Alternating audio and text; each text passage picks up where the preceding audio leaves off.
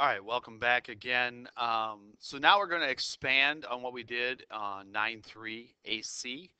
Um, instead of having, we're changing our restrictions in our domain. So instead of only allowing things in the first and fourth quadrant for sine, we're now allowing it to anywhere in any quadrant so that gets us into a little bit of discussion. So a lot of times, if it's not quadrantal, I shouldn't say a lot of times, always, if it is not quadrantal, there's going to be two answers. Okay?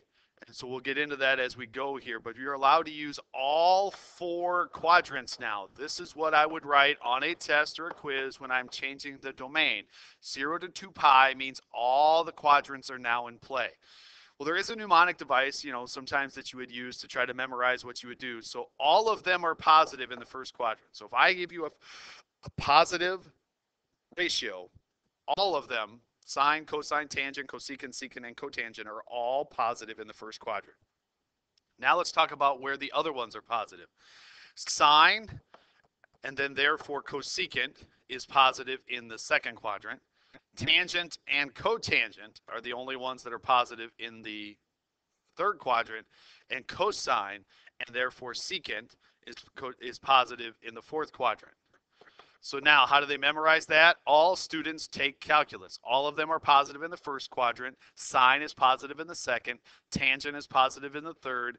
And calculus, C, cosine is positive in the fourth. So again, if you want to know where are things going to be positive, all students take calculus are the quadrants in which things are positive.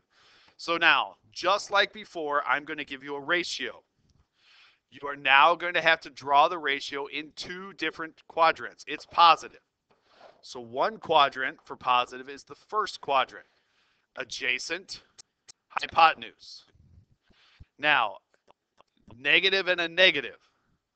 Think about this now, or excuse me, where else would something also be positive for the adjacent and also positive for the hypotenuse? You're talking about the fourth quadrant. All students take calculus. C, the fourth quadrant, also has a square root of 3 over 2. Remember, hypotenuse is always positive. So now, writing the, the missing side, this makes a 30 degree reference angle.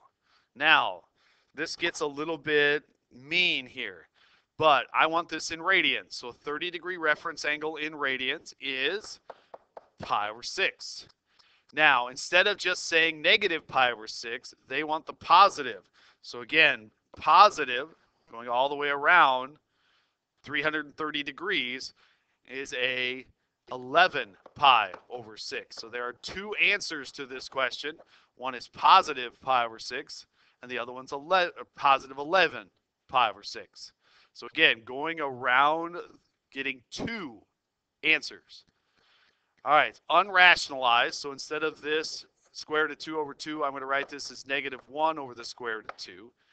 I need an opposite and hypotenuse. It's negative. So opposite is negative. And so then another one where opposite would be negative would be in the fourth quadrant. So these are two quadrants in which the opposite is negative and the hypotenuse is positive. And remember, the hypotenuse will always be positive. Find the missing side. So the missing side is 1. It's a 45 degree reference angle. All right, so here's what I want. I want to know what this angle measure would be in radians.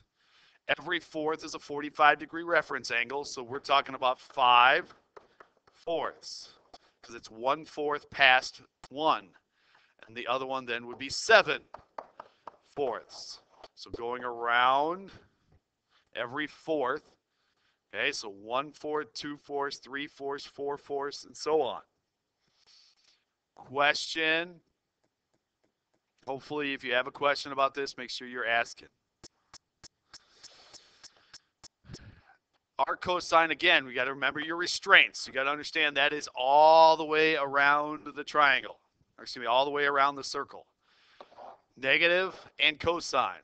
So we're talking about adjacent being negative and hypotenuse being positive, adjacent being negative and hypotenuse being positive.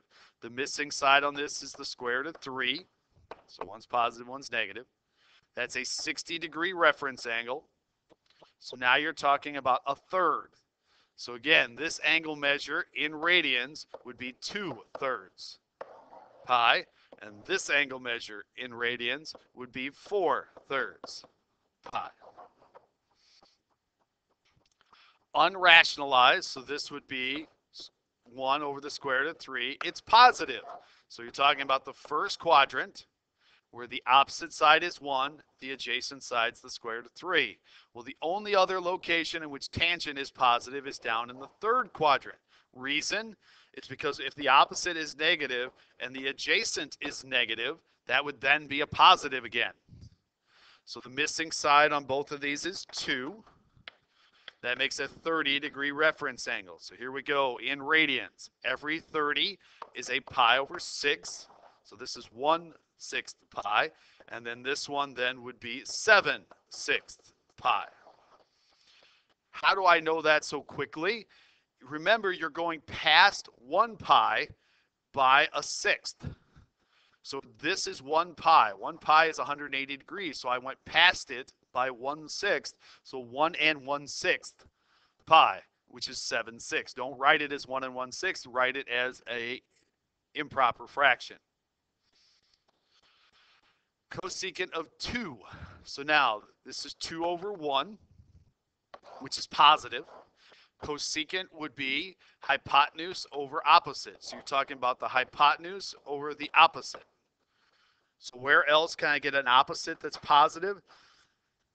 I apologize for that. Opposite is positive. Hypotenuse is positive. So now the missing side is the square root of 3, which makes a 30 degree reference angle. All right. So now I want the angle measures in degree, in radians. So this every sixth is a 30 degree reference angle. And so this would be 5 sixths. So again, understanding that every sixth has a 30 degree reference angle will then get you to the correct fraction that you need. Negative square root of 2 over 1. It's negative and it's secant. Secant is hypotenuse over adjacent. So I need a hypotenuse and an adjacent, which would then also be in the third quadrant, hypotenuse over adjacent. So this is a 1, 1 square root of 2, which is a 45 degree reference angle. So now 45 is a fourth. So this would be 3 fourths pi, and then past this would be 5 fourths. 5.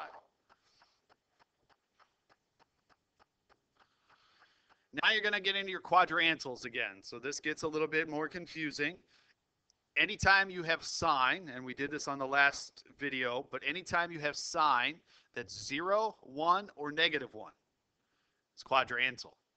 Anytime you have cosecant that's 0, 1, negative 1, it is quadrantal anytime you have cotangent or tangent, okay, and I should say uh, cosecant, secant, 0, 1, negative 1, and undefined, anytime you have cotangent or tangent as 0 or undefined, notice I did not say 1 for tangent. Okay, tangent with 1 is actually a 45 degree angle. So now, I see an arc sine of a 0, so I know that it's quadrantal. Here's what I would tell you. If you end up knowing something is quadrantal, automatically revert to the unit circle. Sine. On the unit circle, sine is always the y value. So I'm looking for a y value of 0. Y value of 0 is located in two locations. Remember, our restraints now allow us to do two locations. And so now, 0 is an answer. Okay, so if you don't move at all, if you go 180 degrees, which is pi, that's an answer. And technically speaking, 2 pi would also be an answer. Given your restraints are from 0 to 2 pi, 0, pi, and 2 pi would be an answer. All right, arctan undefined. So I know that's quadrantal. So I'm going to draw in the unit circle and I'm going to put the points that are on the axis from the unit circle. Tangent is always y over x. So in order to get a tangent that's undefined, the x values have to be zero. So where are the x values? Zero is at 90 degrees, which is pi over 2, and at 270 degrees, which is 3 pi over 2. Okay, so I bet you if you hit second tangent of 90, you'd get an error on your calculator. So just letting you double check that I'm doing this right. Okay, second tangent 90 degrees is undefined. All right, unrationalized, and this is where things start really getting going here. So I get 2 over the square root of 3. Cosine, or excuse me, cosecant is hypotenuse over opposite. So you're talking about the hypotenuse being 2 and the opposite being the square root of 3. Well, where else can I get an opposite being positive?